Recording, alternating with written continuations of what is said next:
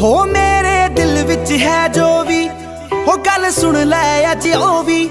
ਤੈਨੂੰ ਹੁਣ ਜੋ ਮੈਂ ਕਹਿਣਾ। ਵੇ ਤੈਨੂੰ ਪਤਾ